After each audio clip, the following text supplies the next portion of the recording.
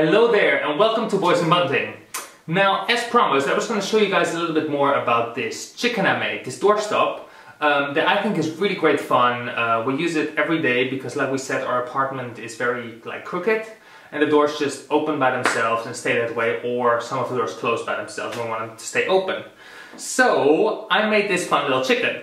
Um, now, I cannot take all the credit for this tutorial. In fact, I cannot take any credit for this because um, I found this on YouTube and it is by, wait let me check that really quick.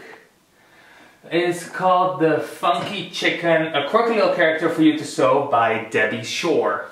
Now Debbie made a great video um, on how to do this and I'm not going to show you every little step because um, it's her tutorial but I want to show you that I'm going to make mine with different fabrics this time because uh, I don't want, it, want it to be the same as the last one. I want it to be um, a little bit more girly this time. So I've chosen very pinkish fabrics. Now I don't know if you can see here already. These are going to be the wings which are a light pink. Um, then instead of red this time those little flappy bits are going to be like a very hot dark pink color. Um, I don't know what these are called. Probably because I'm foreign. No, it's not I'm foreign, because I also don't know what they're called in Dutch. Anyway, it doesn't matter. The beak and my cute little fabrics. Let me see if I can show you that. Now, I, me or Matt bought this fabric probably about five years ago in Hamburg uh, when we just got our first sewing machine and I believe these fabrics are by a company called Tilda and I don't think they make this particular one. It was very popular because I saw this coming back in lots of tutorials. I love it. I just found out that I still had a scrap of this left, so I was really excited about it. But it also means I have to be really neat and careful because these are the last bits that I have, so I don't want to mess it up. But um, enough talking, I'm gonna get started and I'm gonna show you little bits and pieces of when I'm making it. I'm also gonna make a photo, uh, not tutorial, but just like a blog post where I'm gonna show you all the little steps of what I did and um, show you how I made this one. So, bear with. Now the first thing she tells us to do is to um, attach the wings to the squares of fabric um, now in my case it's important that, because uh, the fabric has a pattern that is in a certain direction, um, so this is the top and this is the bottom, so I'm going to put my wing with a straight edge on this side, and I'm just going to sew it on with a zigzag stitch. I'm not pinning anything because this is very, uh, I mean it's not really perfect, but it's going to stay in place because the felt sort of sticks onto the fabric already. Um, a little zigzag, zigzag stitch um, on this side and I'll do the same for the other piece of fabric zigzag.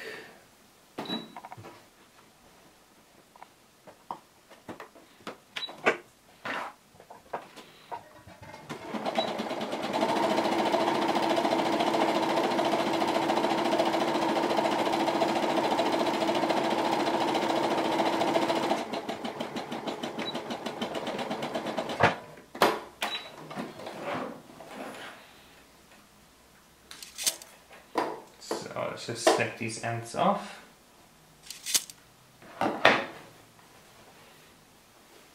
And there we go. That's the first wing attached to the fabric. Now it's pretty centered.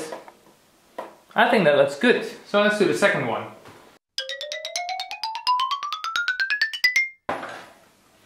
And that's number two.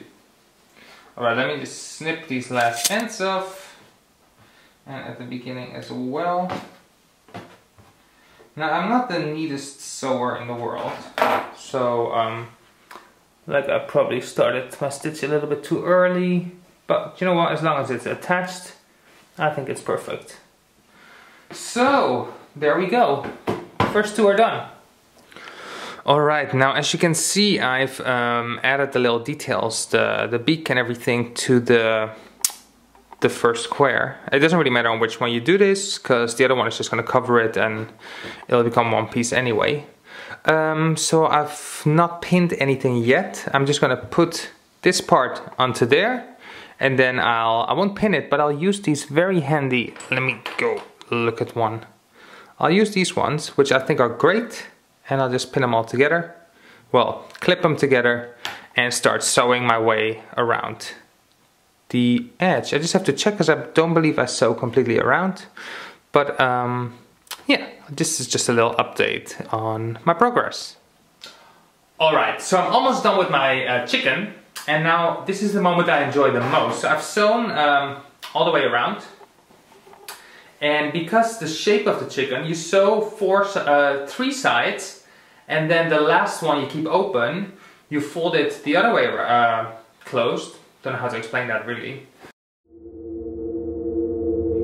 So these sides were all like folded flat like this and the last opening you just pull open and pull the sides back together and then you sew a line here.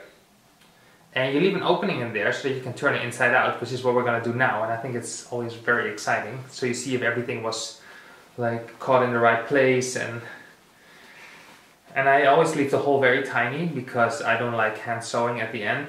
Um, I might actually sew it with a machine. But um, we'll see. Anyway, it's a bit of a fidgety um, situation. I already see a little piece. Now where is the face?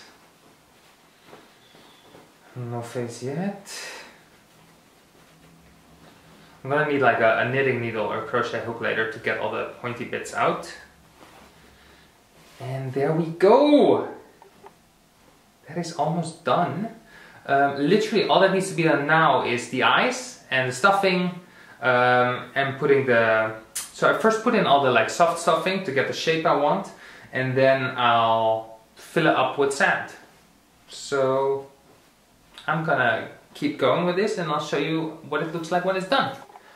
Alright guys, I'm finally finished. Um, I'm by no means a very neat um, or tidy crafter. Um, it's not that I'm unorganized, it's just I make a big mess because um, I'm so excited about finishing my project that I um, will not tidy up until I'm done. Um, I don't know what you guys do. Maybe you're very neat and organized, but uh, I rather just tidy everything up at the very end. I don't like it, but I have to. Especially before Matt comes home from work. Needs to be tidy. Um, so, enough rambling. Here is chicken! I'm so excited about it. I think she looks really cute. She did turn out a little bit bigger than I wanted. Um, I didn't really calculate my square size very well. I was like, okay, because I've got like my, like, uh, the line where I stitch will be a little bit far from the side and then I'll turn out much smaller than I uh, started with, but she's very big. Um, at least she'll stop the door very well. Um, and I just think, you know what, I like her more than I like the old one. Um, I guess because the old one I literally took no time at all. I didn't check if the fabrics looked nice together or I was just like, I have to make this, have to make this. Uh, new apartment, um, I need a doorstop. So this one is much better um, and she's really cute and she's just really, really big. So she's the big mama. She's very pinky and cute and girly, um, but she's very functional and she's gonna stop the doors. So I'm just rambling. I'm gonna stop now because um, I'm finished, gotta tidy up and need to write a blog post. So, and I need to go to the gym. Let's not forget about that.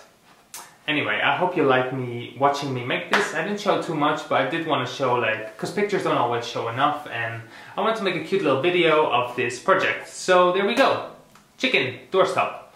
Go check out the video like I mentioned in the beginning. I always post a link at the description of this video to the actual tutorial on how to make this and then you too can make your own little chicken doorstop or big chicken doorstop. Thanks for watching, bye!